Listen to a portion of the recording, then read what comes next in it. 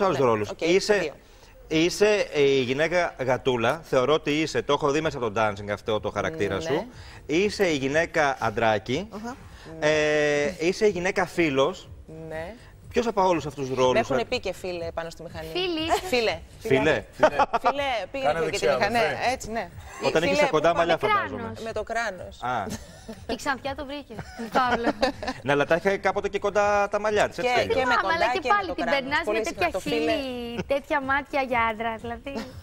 Ε, στο είπε φίλε. αυτό το σχόλιο επιθετικά, δηλαδή. Όχι καθόλου. Ε, φίλε, πώς, πού πάμε για την πλατεία Τάδε, ας πούμε; Ήσουν ήδη Ε, αναγνώρισιμη τότε όταν στο είπε αυτό. Ναι, ναι. Ο, δεν, φορούσα κράνος. Όταν το Και έβγαλες; όταν δεν το έβγαλα για να το εξηγήσω. Ναι.